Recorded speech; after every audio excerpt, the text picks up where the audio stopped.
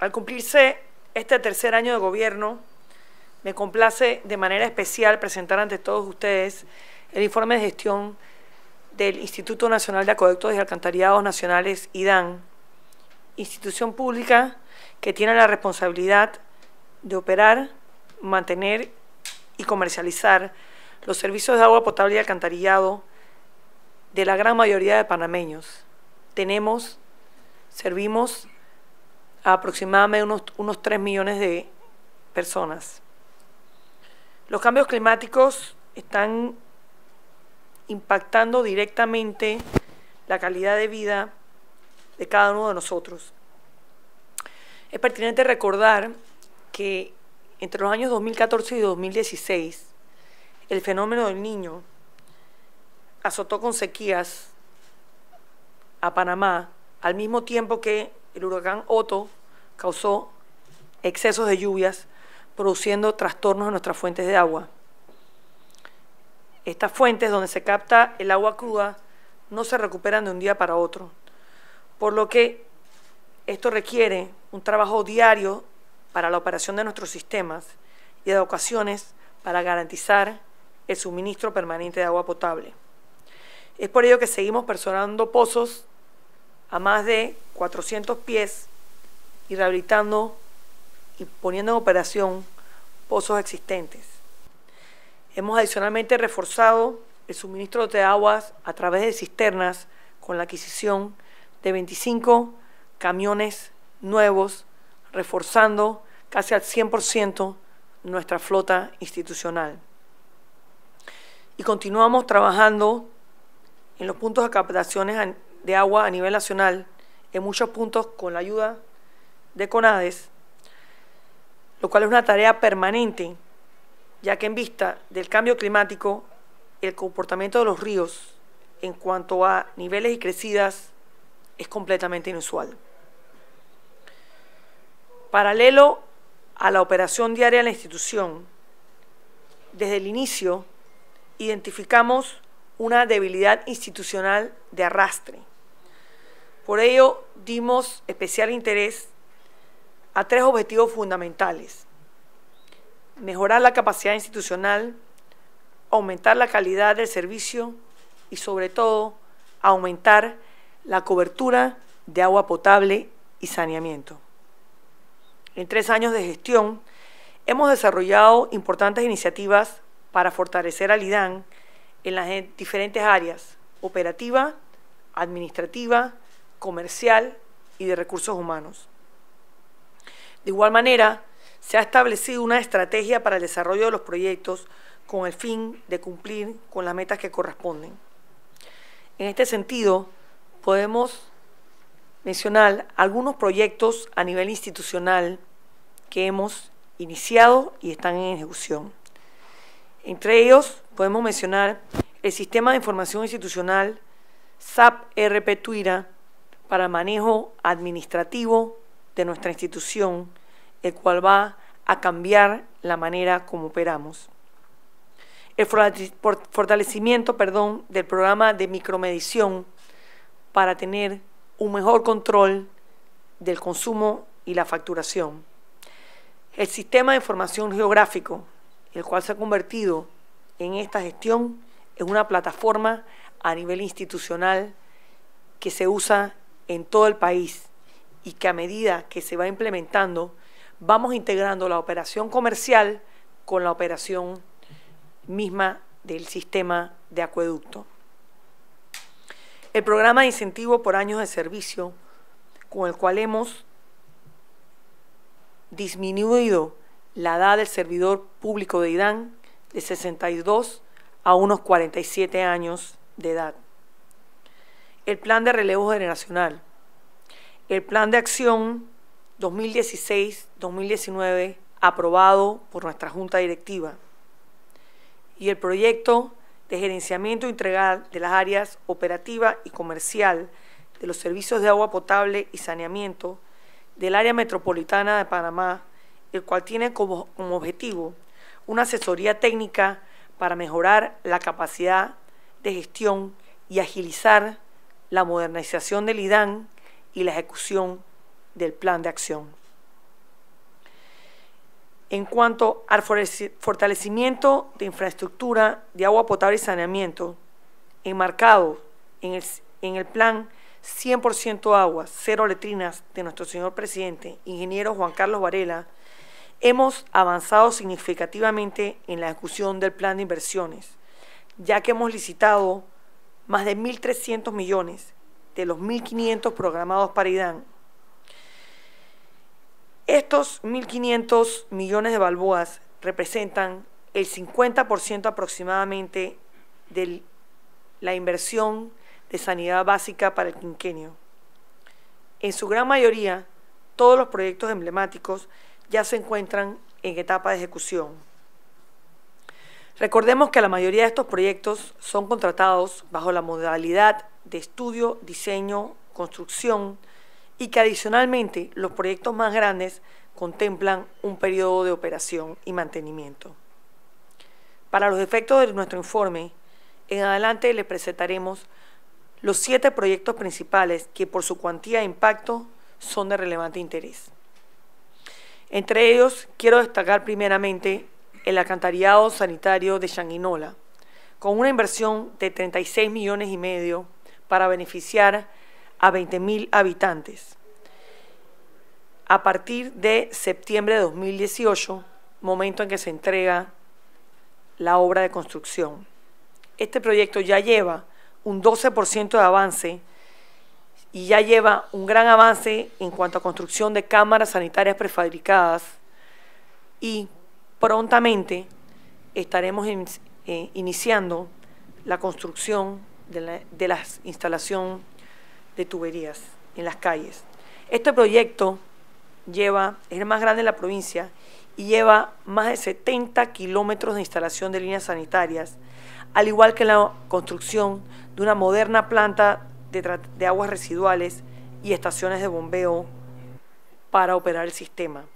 Lleva adicionalmente un año de operación y mantenimiento.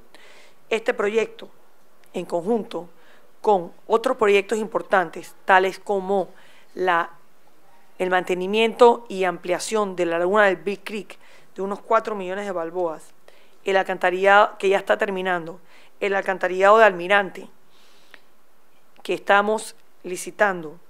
Las mejoras a la toma de agua de la potabilizadora de Changuinola darán un gran cambio a los servicios de agua potable y saneamiento de la provincia de Bocas del Toro. El alcantarillado sanitario de Santiago representa una inversión de 95 millones y medio. Este proyecto está en su mayoría en fase de estudio y diseño, pero ya se han iniciado algunas labores de construcción para beneficiar a unos 150 mil habitantes a partir de su momento de entrega en octubre del año 2018. Lleva ya un avance de 9% y comprende este proyecto la instalación de líneas sanitarias, la construcción de una planta de tratamiento de aguas servidas, estaciones de bombeo de aguas residuales y un laboratorio de control de aguas sanitarias, más dos años de operación y mantenimiento. Este proyecto, en conjunto con la ampliación de la planta potabilizadora de Santiago, la cual pronto tendrá orden de proceder, más las inversiones de CONADES en el tanque de agua de la Pita, y líneas de distribución realizadas por CONADES e IDAN van a dar un gran cambio. Ya se siente el cambio en Santiago y seguimos mejorando la condición de vida de los residentes de Santiago. El alcantarillado sanitario de David lleva una inversión de 296 millones de balboas. Este proyecto ya está en ejecución y beneficiará a más de 100.000 habitantes.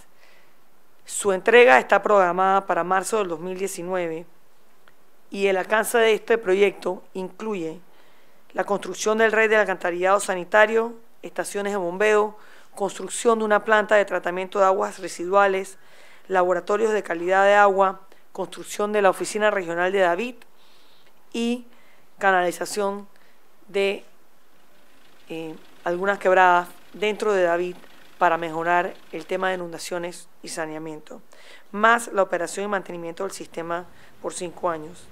Adicionalmente, en la ciudad de David se estamos mejorando en conjunto con CONADES la planta potabilizadora de Algarrobos y eh, por otro lado se ha dado inauguración a la planta potabilizadora de Chogurro Blanco y a la planta potabilizadora de Mongo, obra de eh, el actual DAS.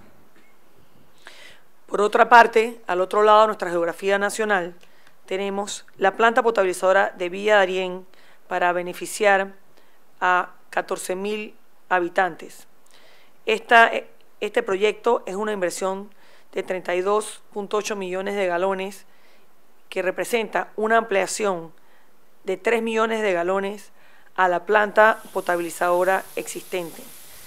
Este proyecto se entregará en septiembre del año 2018 y ya lleva un 10% de avance. El proyecto incluye la construcción de una nueva toma de agua cruda, la, construcción de la tubería de aducción, es decir, una tubería que va desde la toma de agua a la nueva planta potabilizadora y la construcción de la planta potabilizadora con sus estaciones de bombeos, líneas de distribución y algunos eh, tanques de agua. Comprende adicionalmente la operación y mantenimiento por dos años. En el área de Panamá de Arreján tenemos la planta potabilizadora José Guillermo Rodríguez que va a ampliar la producción del área, va a prácticamente, prácticamente duplicar la cantidad de agua que llega a Arreján en 40 millones de galones por día. Este proyecto lleva una inversión de 211 millones de balboas y estamos prontamente por entregar la orden de proceder. Este proyecto va a beneficiar, va a, beneficiar a 248 mil habitantes a partir de febrero de 2019 en que se entregará esta obra. Este proyecto adicionalmente va a beneficiar a los residentes de Chorrera que van a gozar de una mayor disponibilidad de agua gracias a que parte de lo que, del agua que se la doy a Reján va a pasar a Chorrera una vez comience a trabajar esta planta. La planta potabilizadora José Pepe Fierro, ubicada en Gamboa, es una planta que va a producir 60 millones de galones a raíz de una inversión de 238 millones de balboas. Esta planta recibirá prontamente orden de proceder para beneficiar a 236 mil habitantes a partir de febrero de 2019, donde se entregan las obras. Para la ciudad capital, esta planta potabilizadora José Pepe Fierro trabajará en conjunto con la planta potabilizadora Federico Guardia Conte en Chilibre, la cual va a ser ampliada en 15 millones de galones por día con una inversión de 32 millones de balboas. Esta, esta obra está por refrentarse prontamente para beneficiar a 150 mil habitantes a partir de diciembre del año 2019, en donde se entregará esta planta.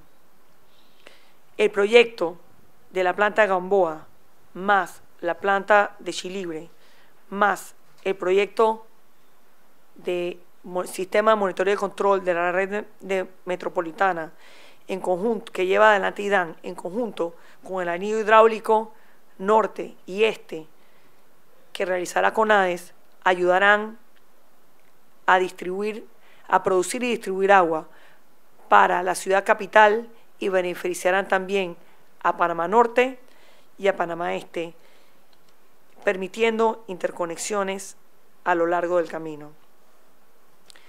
La planta potabilizadora Federico Guardia Conte trabajará además en combinación con la ampliación de la planta potabilizadora de Sabanitas, que se ampliaría en 15 millones de galones con una inversión de 107 millones de dólares para beneficiar a 115 mil habitantes. La planta potabilizadora Sabanitas prontamente recibirá orden de proceder de modo que tengamos las mejoras realizadas para diciembre de 2018. Esta planta, en conjunto con las mejoras integrales que se están realizando en la ciudad de Colón y las múltiples inversiones que está haciendo el gobierno nacional en la provincia de Colón, van a beneficiar tanto a Colón como a muchas comunidades a lo largo del corredor transísmico. El IDAN es una empresa pública que tiene un carácter especial porque no para. Su accionar es permanente y constante, ya que su misión es llevarle salud y bienestar a la población 24/7. Por lo tanto, estamos enfocados en mejorar nuestra capacidad institucional y planificar con mayor eficacia. Nuestro objetivo final es garantizar un mejor servicio a nuestros clientes y crear las condiciones que nos permitan lograr una sostenibilidad financiera, aumentando nuestra recaudación y haciendo más eficiente nuestra operación. Por lo antes expuesto, reiteramos nuestro compromiso permanente de trabajo, voluntad y dedicación para cumplir todas nuestras metas. Muchas gracias a todos.